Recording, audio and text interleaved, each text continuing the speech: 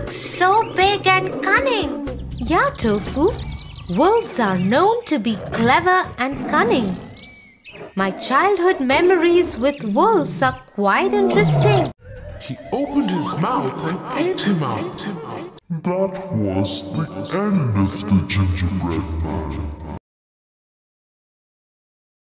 Especially the story of the wolf and the seven little goats. The wolf and the seven little goats?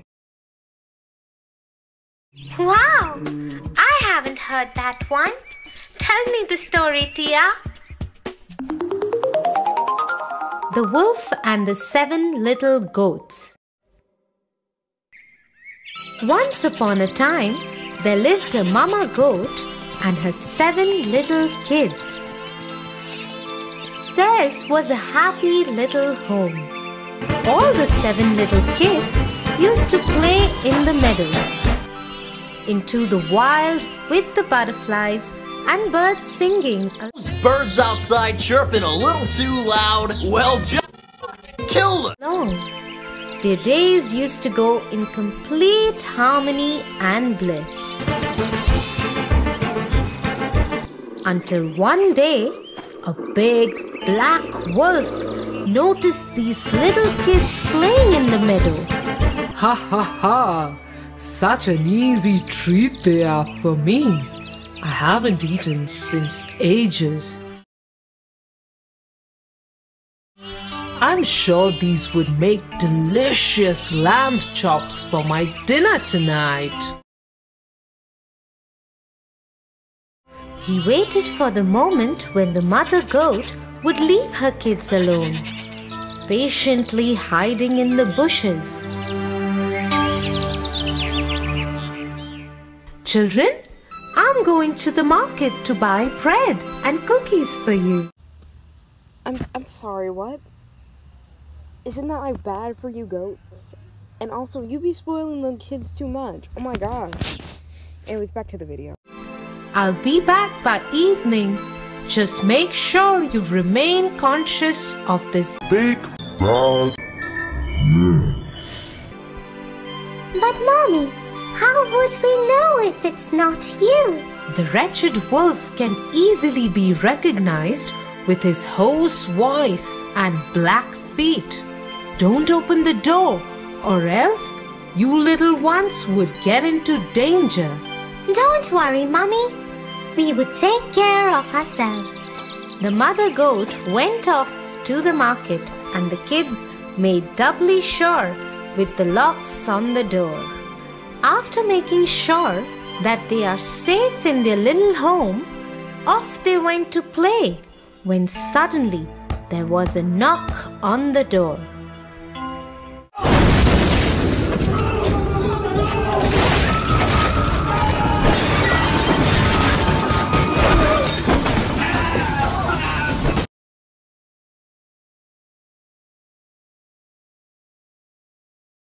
Hello, my children. Open the door. Your mother is back. Hearing the voice, the youngest one scampered to the door. Mommy, Mommy, she's back. In no time, the eldest one ran to catch his little sibling. No, it's not our Mommy. She hasn't got such a rough voice. And then, looking at the door, the eldest kid shouted back, saying, Go away, you big bad wolf! Our mother doesn't have such a hoarse voice. Hearing this, the wolf got annoyed and ran to get a box of chalk. As he had heard that this would make his voice as soft as that of a baby. But kids, you shouldn't do this at any cost, as this would only make your tummy ache badly. So off he went and gulped off the whole box of chalk. Knocking on the door again, he said, Hello, kids. Your mother is back. Look what I have got for you cookies, breads, and ginger ale. That sounds like a mother. Should we open the door now? But look down there. A mother has not got black feet. This is surely the wolf. Go away, you big bad wolf. A mother has not got black feet, but beautiful white feet. Hearing this, the wolf ran to the miller and jumped into the mountain of white dough. He was all white from head to toe. Running back to the house, he knocked again and said, Kids, your mother is back. Open the door. That sounds like a mother, and also the feet are white. We should open the door now. Not knowing what danger awaits them, all the kids ran to the door and opened it. But just to see who was standing there. Just kidding. The big bad wolf gave a loud laugh and brushed off his white powder. Hello, kids. Are you ready to become my feast tonight?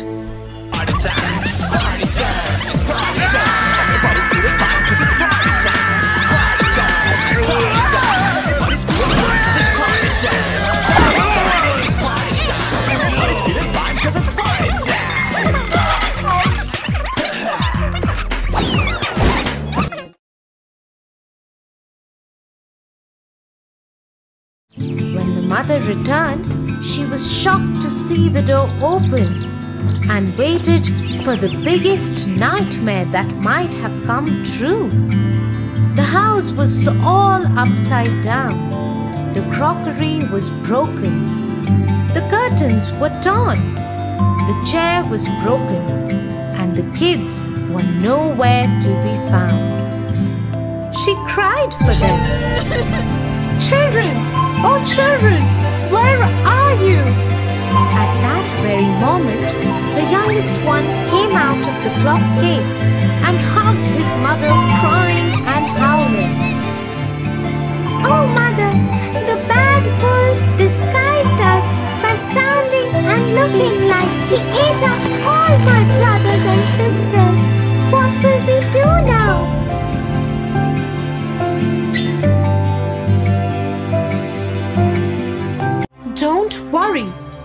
Let's go and look for him.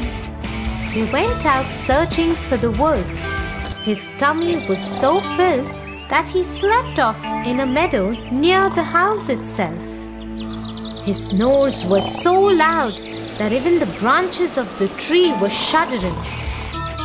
The mother goat very quietly went near him and asked her youngest kid to get Scissors, thread, and a needle. Off he went to get them.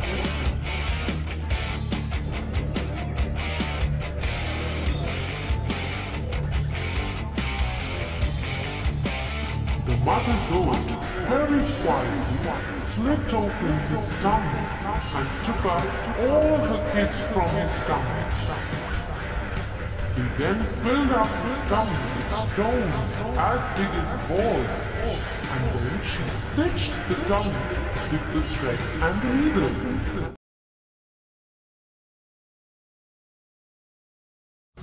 The wolf had such a huge feast after so long, and he slept all night.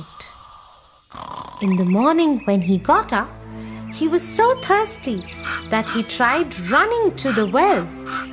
But his belly was so heavy that he could hardly walk. He picked up his belly and managed to reach the well. But the moment he bent down to drink water, he couldn't handle the weight and fell in the well. The kids were looking at all of this from their window and shouted happily. Mommy, mommy, the wolf has Died. Now we can play freely outside without any fear. And they lived happily ever after. Now that was one cunning wolf. But Tofu? Don't be dumb, because if you do, then you'll get eaten.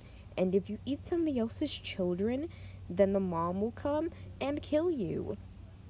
Always remember that. Yeah, Tia.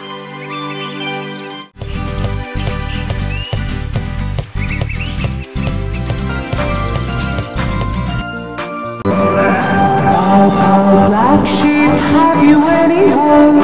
Yes, sir, yes, sir.